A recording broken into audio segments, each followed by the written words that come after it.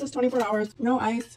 Oh, bug got in there. Gross. So bug came in through the straw while it was sitting here. Yuck. Alright, anyways. Now this one has some ice left in it.